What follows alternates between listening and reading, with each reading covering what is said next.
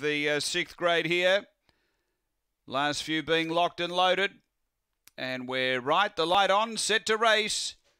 We're ready to go. Race five here at Gawler. On their way, there's pace in the middle from Raging Critter. It's pushing on hard. It's getting tight up front, but it just got over. Uh, crazy Dream moves up outside it. Far more crazy, still right there, chopping and changing, and Hot Rocks whipping around them. Uh, then Kuengi and Precoat up to the turn. Crazy Dream and Hot Rocks locked in battle. Hot Rocks gets the head in front, draws clear, and Hot Rocks too good. Crazy Dream second, far more crazy third. Uh, then Raging Critter, Kuengi and Precoat. The time here around 22 and 80. After the running of race number five and to the winner, Hot Rocks, the late male. uh, for Vaden Roz, number two. Second going to eight, which is Crazy Dream for Des Hockley. And third to one, Far More Crazy, uh, also for Des Hockley. Numbers are 2, 8, 1, 5, fourth after race number five here at Gawler.